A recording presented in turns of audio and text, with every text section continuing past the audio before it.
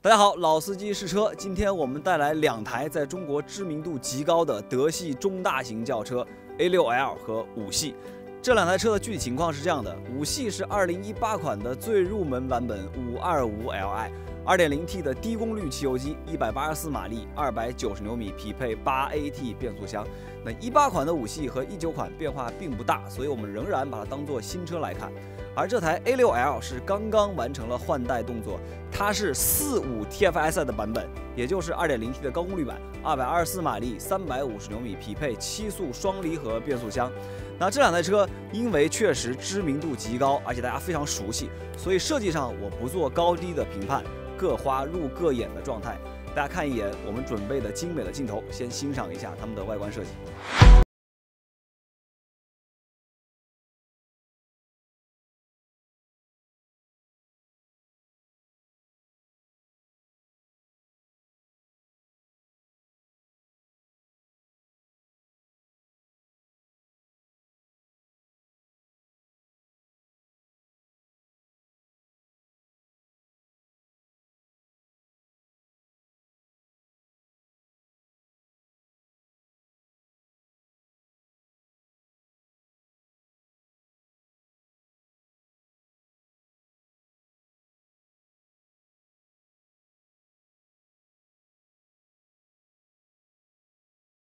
来看两台车内饰的情况，先来看五系，那设计一直不是宝马的强项，所以他们如果想提升内饰的品质感，最好是从用料和做工这两个方面去下功夫。这代五系，我认为在这两方面它的进步还是相当巨大的。呃，可能你第一眼看上去，呃，设计的普普通通，没有太大的亮眼的感觉，但是当你坐到一台实车当中，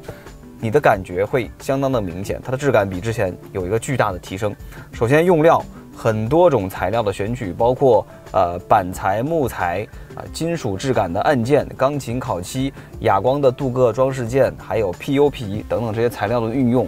啊，而且它的做工细节是提升了不少的，这样营造出来的整个内饰质感比之前提升了一大截。比如说，我们之前老的宝马，你的中控台去摁一摁，经常会出现嘎吱嘎吱的声音。那目前的这一代五系，这个现象确实就减轻了很多了。还会有，没有完全杜绝，但是确实是比之前要好很多。配置层面，这台车是全系的最低配入门级别，但是仍然能看到全液晶仪表盘。定速巡航、自动雨刷、自动大灯、自动空调，这边的大横屏等等配置，我认为相对应它的级别来看，这个诚意还是挺不错的。这个全液晶仪表盘应该说是比较入门级别的产品，就从功能层面来说，你可以把它理解为就是传统机械仪表的液晶化，因为它不能实现太多其他的复杂功能，比如说整个屏幕全部变成地图等等，它是不可以的，它只能在右边的这个圆表内偶尔兼顾一下。地图的显示，呃，好在它的 显示效果以及配色都挺不错的，尤其是经济模式这个蓝色的氛围，在晚上看真的是赏心悦目的状态。方向盘呢是传统的三幅运动式的设计，上面这个金属质感的按键手感真的很 OK。这个方向盘本身握环比较粗，三九点的凹槽，还有皮质的细腻的触感都是挺不错的。虽然它不是 M 套件的丁字裤那么的性感啊，但作为一个中大型轿车，我认为这个方向盘的设计可以给个好评。这边中控顶端的大横屏也是比较提升内饰档次感的一个配置。这个屏幕内部的响应灵敏度，然后内容的丰富程度，包括车载互联网啊，以及基于互联网的一些额外的衍生应用的功能等等，都是符合主流水准的。你可以用这边的 iDrive 操作端来操作。也可以直接上手，它是一个触控屏，呃，所以我觉得这样的设计还是比较照顾更多的人群的。像我就不太喜欢直接上手，我比较喜欢用这个 iDrive 旋钮。一方面，因为它里面有比较细腻的档位，所以你操作的成功率是比较高的，开车的时候比较方便。另外呢，也比较省力，你是直接把手搭在这个手枕上就可以操作，不用去把整个手臂抬起来啊。我觉得这个设计很 OK。再往下，中间这大块区域包括。啊，常用的音响以及空调的控制区啊，就不多说了。再往下看，这个地台的位置，综合了刚才说过的 iDrive 的操作端，以及很性感的鸡腿挡把。这个鸡腿呢，我认为它的美观程度其实比上一代的鸡腿要减了一些，但是它做了一个瘦身啊，这个形状的握感是有提升的。旁边这片区域是驾驶模式的选择，运动、舒适以及经济三个模式。再往后是电子手刹以及 Auto Hold 这个最低配的配置啊，说了还是挺 OK。这边是雷达的一个长条形的开关，这开关是在设计上的一个小心思了啊。这就是整个五系前排的大致的情况。我们再去看一看 A6 的内饰表现是怎么样的。来到 A6L 的车内，首先我发现第一个细节，这个车的四个门锁全都是改成了电子式的啊，轻轻一扳这个扳手，腾的一下车门弹开，还挺有意思。但是也有一点点跟以前不太一样的地方，你从车外上车拉车外的把手也要等个半秒不到吧？啊，这个需要习惯一下。那车内的整个设计氛围，那跟五系就完全不一样了啊！五系平淡如水的话，这个就是我觉得这种科技感其实不太贴切，应该叫洋气。三块大屏，虽然五二五是两块，听起来只少了一块，但是这个展现出来的效果是。完全不一样的，呃，面前这个全液晶仪表盘呢是更高阶的产品了啊。现在我这个状态是两个仪表放在两端啊，中间的大部分区域全部换成了地图，这个看上去就显得呃相当的提气了。这边中控的主屏啊，这个尺寸也不小，里面包含的内容呢。其实这个级别都大差不差啊，大家的东西都差不太多，车载互联网啊、语音啊等等都是这些东西啊，就看展现形式怎么样了。目前这个全新一代的 A6L 是把它的之前 MMI 系统的实体操作端全部取消了啊，你要全部上手直接在屏幕上来操作，它的响应的速度以及触控的灵敏度等等各方面，我用了一下都还 OK，呃，而且这个屏幕是带呃真实的反馈的。就是你按中一个功能以后，它会通过屏幕的震动以及声音的反馈，模拟出那种真实实体按键的感觉啊，所以这个感觉还挺 OK 的。但是呢，我仍然认为它的使用便利性不如有实体旋钮的操作来得更好，因为第一个你要抬着手臂，对吧？这个肯定会更吃力一些。第二个，没有这个旋钮，没有清晰的阻尼之后呢？比方说你要开着车去操作，你还是会分散掉一定的注意力去瞄准它，所以我觉得这个操作便利性是不如有实体操作端的。再往下又是一块屏幕，这个就是比五系多出来的部分了，里面其实主要就是用来控制空调的，有一点点这个 隆重了，专门给空调准备了一块大屏。下面呢是传统的实体按键的区域，就不多说。再往后看，这个位置是很漂亮的一个电子挡把，手感以及美观程度都很 OK。往后面是电子手刹以及 Auto Hold。那这台车应该说整个内饰的氛围感、洋气的程度，确实是远远的超过了那台五系啊，这个是要分数高出不少的。配置层面，呃，像开头所说。这台车我们拍摄的今天还不知道它的具体是哪一款，我们来看看它有什么。首先这边有自动大灯啊，这个都是不在话下的。然后这边定速巡航以及主动安全系统，包括主动刹车等等，这个车都是有的。然后这边自动空调啊等等都 OK。座椅加热两个车都是没有，那台车是加了三千块钱选装的，这个车目前没有选装，就是没有座椅加热啊。这个就是整个 A6L 前排的情况。好，回到五系车内，我们再来看一看两台车前排的空间表现怎么样。首先是乘坐空间，这台车呢，方向盘以及头枕的高低都是电动调节的。这样的话，外后视镜的位置、方向盘的位置、座椅的位置、头枕的位置都可以联动组合记忆在这两组座椅记忆功能当中啊，这个使用便利性是很高的。当你去调这个座椅的时候，会发现很遗憾，它没有电动的腰托。如果跑长途，记得一定要准备一个小头枕垫在腰后面，不然时间长了真的会比较腰酸的感觉。这个座椅的设计风格是那种偏宽大的类型，像我这样的身材，基本上感觉不到什么包裹，左右两边都比较空旷。等一下看看 A6 是什么情况。储物空间呢？门板是单层的，下面一个长条形的储物槽，里面有一个杯架形状的设计。左手边这里有一个可以打开盖板的储物盒，里面容量还 OK，差不多可以勉强放一个眼镜盒。这边推开这个盖板，里面藏着两个杯架，一个十二伏点烟器电源，一个 USB 电源，以及一个储物盒。储物盒的容量一般般吧。呃，有一点遗憾的是，它的拓展功能很普通了。这两个电源的话，放在今天用，大概也只有这一个 USB 是会比较常用到。呃，我觉得至少应该再加一个 USB。如果你要手机无线充电的话，是需要额外花钱去选装的。这边中央扶手长度很 OK，打开之后呢，容量也是普普通通，里面也只有一个十二伏点烟器电源，没有 USB 接口了，这个就真的比较遗憾啊。这个前排的拓展电源部分真的是少了一些。然后这边就是常规的手套箱了，里面有绒布的衬垫，有阻尼，这些都是应该的。然后这里，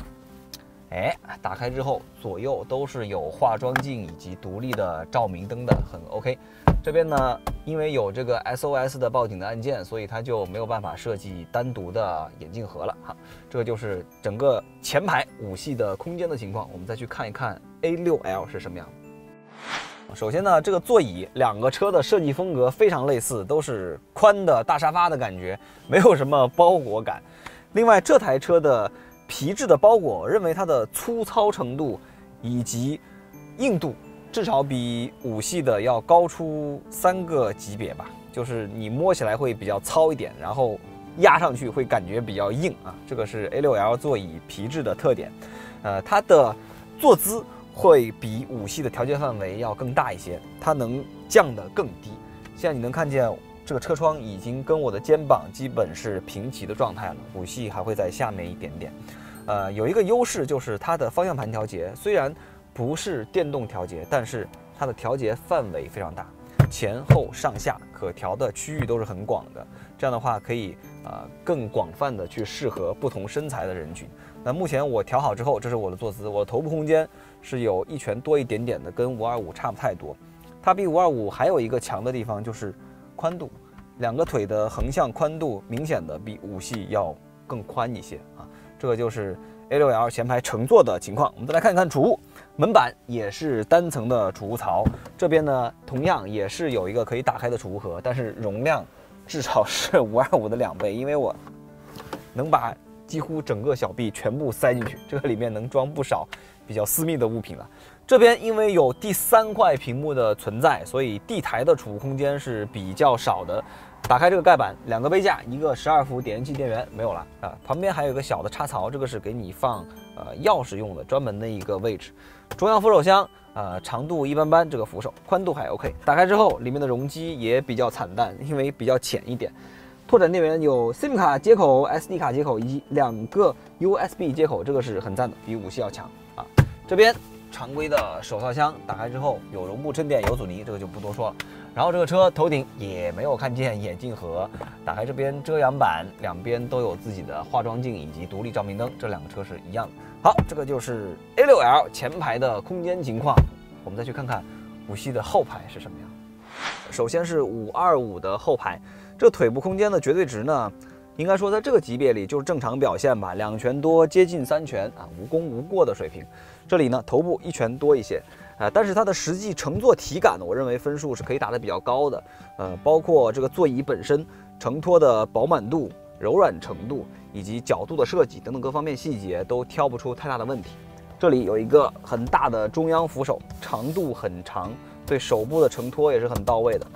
打开之后，里面是联通的储物空间，深度一般般啊，还是可以放一些小东西的。这里还有两个伸缩式的杯架，一左一右各一个。那这样的话，你放水对手的承托也没有任何影响。前面呢是后排的空调出风口，空调的控制稍微有些寒酸了，只有一个旋钮调节冷热，没有屏幕让你看温度。下面是两层的储物格以及两个十二伏点烟器电源，如果能换成两个 USB 就更贴心了。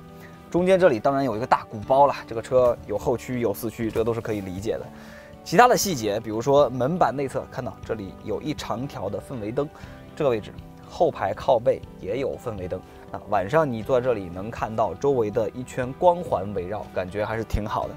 再往下，很传统的设计，这里有一个大大的烟灰盒给你用，我还是建议各位不要抽烟了啊，对身体没有好处。下面是一个长的储物槽。中间有一个隔板，分为左右两侧。我比较喜欢的两个细节，第一个是这里左右位置都有啊，化妆镜以及照明灯如果是女士坐在后排的话，上班的路上补个妆什么的都很方便。第二个细节就是这个原厂的小头枕，像迈巴赫那个头枕一样，很柔软，很舒服。这就是整个五系后排大致的表现。我们再去看一看 A6L 它的后排是怎么样的。腿部空间比五系是要大一点的，我呢能有三拳还多一点的余量。头部呢比五系小一点，不到一拳四指左右。那对于后排乘坐而言，腿部的重要性是比头部要更高一丢丢的。它的横向空间也比五系的表现更好，这个可能在视频里不太容易看出来。呃，座椅本身的表现是这样的：首先，它的坐垫上扬的角度比五二五更好。那理论上这样对于腿部的承托会更到位一些。但是呢，它的坐垫长度比五二五要短一些，这样就是功过相抵的状态了。外面这层真皮的包裹，整体的触感跟前排是一样的，偏硬偏糙啊。这个你跟五系放在一起会有明显的感知上的差异。中央扶手打开看一眼，它的结构还是比较复杂的。这边扶手打开，里面是一个储物盒，容量也不大。这边一个小的储物盒，可以放一些很小的东西，类似硬币那种。再往前，这里打开还是一个储物盒，里面有绒布的衬垫。同样，最顶端是伸缩式的杯架，而且也不影响手部的承托。啊，其他的配置我们再来看一看。这个位置，后排的空调，它呢是比五系要更洋气一些，因为有一个单独的控制面板。能控制温度、控制风量、控制风向，以及左右两个都是独立的 auto 的状态，所以它的配置水平也比五系要高一些。中间这个鼓包的尺寸也比五系要大一些，所以大家看到很多这些描述都是好一点、坏一点、好一点、坏一点，就这样一个水平。然后这边门板的控制区域，除了左右两个车窗都可以在单侧同时控制以外呢，后面还多了两个按键，是分别控制前后两个天窗的。这个车是有。分体式的全景天窗，这个也是五二五没有的，啊，另外我们还能看到一些细节上的差异，比如说五系有小的头枕软垫，但这个车没有，所以靠上去感觉头部会比较硬，啊，而且我认为两台车型都是真正意义上的四座车加一的感觉，中间这个座位都是比较难受的，大家通常情况下不要去坐人就好。好，这就是 A6L 的后排整体表现。那后备箱呢，两个车可以说。大差不差，没有本质上的区别。整体看上来，A6L 稍微宽一些，稍微深一些，就这样一个水平啊。接下来更重要的一件事情，我们是要把这两台车开起来，看看驾驶感受有哪些本质上的区别。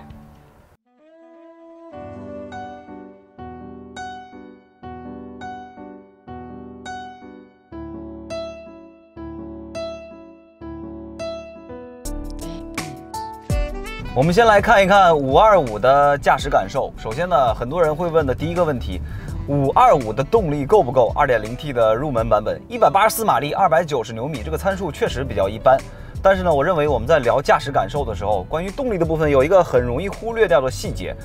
就是动力响应。其实这个细节非常影响你对于动力的主观判断。好比你去打仗，带着部队，如果你的部队实力很强，但是呢不听你的指挥，那你肯定打不赢。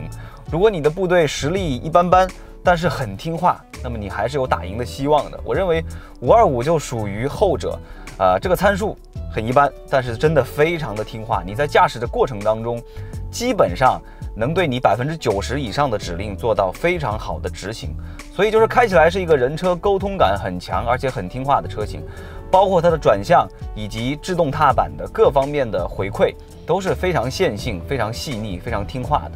所以这个车我认为在同级别当中是一个开起来驾驶感受数一数二的车型，尽管它只是一个入门版本的动力级别。第二个重点呢是底盘悬架的表现，很多人都知道五系换代之后悬架的舒适度是有明显提升的，但是不要忘记它仍然是一台宝马。当你做出一些剧烈动作的时候，还是能感觉到很深的运动造诣，底盘调教的水准还是很高很高的。比如说前面的车有一个物品的移洒，你不得不做一个紧急并线的动作，这时候你能感觉到来自底盘非常好的支撑，以及转向的响应、车身的随动性，整个一气呵成的感觉非常到位。所以它并不是那种完全倾向于舒适化的车型，这一点是一定要强调的。那减分的地方在哪里呢？就在于八 AT 的变速箱，它并不是大家想象当中的十全十美的产品。一些特殊的工况仍然能感觉到很明显的顿挫，比如说前面的红绿灯，按照你的预判是完全可以过的，但是呢，你前面有一个新手，他可能是摇摆不定、犹豫不决，然后红绿变黄的一瞬间一脚刹停，这个时候你跟在后面也不得不做一个紧急的刹车，啊，同时呢，你是处在一口经济模式下，它的三档退二档，二档退一档，还是有很明显的顿挫感的啊，所以这个八 AT 并不是十全十美。那总的来说，五二五的驾驶感受，我认为开得舒适，开得顺心，开出了很好的人车交流的感觉，啊，这就是五二五的表现。我们再去 A 六 L 上看看它的驾驶感受是怎么样的。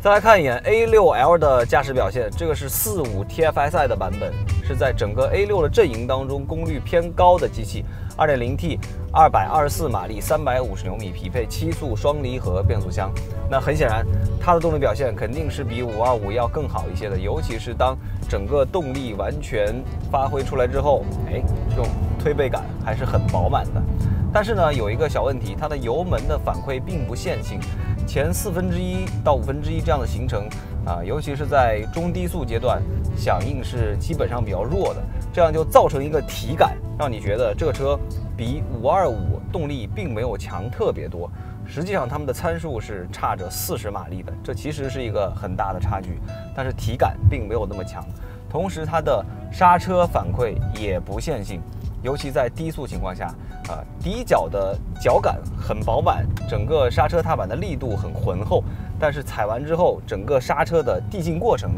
并不是那么的呈线性的增长，啊，还有一个呃比较轻柔的转向，所以这个车开起来它没有太多的人车交流的感觉，它是一个很轻松，能开着很快，坐着也很舒服的行政级轿车，但是人与车之间的交流感是比五二五要弱很多的。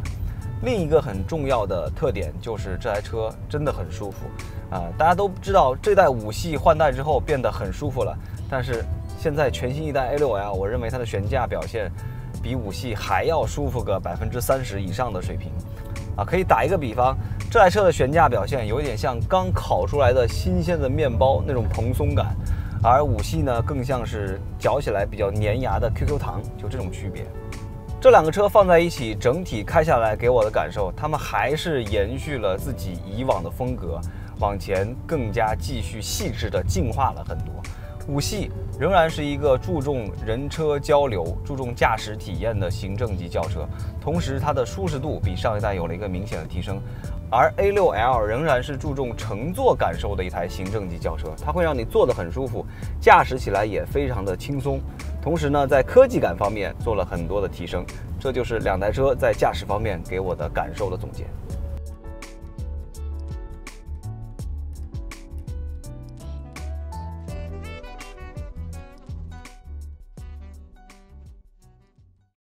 大家看到这集视频的时候，A6L 已经发布了价格。综合来看，全系当中最值得推荐的就是四五 TFSI 的两款前驱车型。一个就是我们今天的试驾车甄选智雅型，一个是甄选动感型，价格一样，都是四十四万两千八。那这两个车怎么选呢？我个人会占动感型更多一些，主要是因为车轮子的配置。那我们这台试驾车智雅型是二二五的宽度，应对到 A6L 这个级别，显然就偏窄了一些。如果你买动感型的话，直接升级到二四五的宽度啊，这个就合适的多了。但同时也要注意，它的轮圈会从十八英寸升级到十九英寸，理论上轮胎受伤的几率也会更高一些啊，这个细节需要更注意一点。那至于五系，性价比最高的显然是五三零，而不是五二五。那五二五的价格是四十三万六千九，注意这个数字，四十四万两千八和四十三万六千九几乎是一样的。也就是说，官方在定价的时候默认了一点点级别上的小差距。如果你买五系的话，只能买到一八四马力的低功率版本；但是你买 A6L 能买到二百二十四马力的高功率版本。这个时候 A6L 的性价比的吸引力就体现出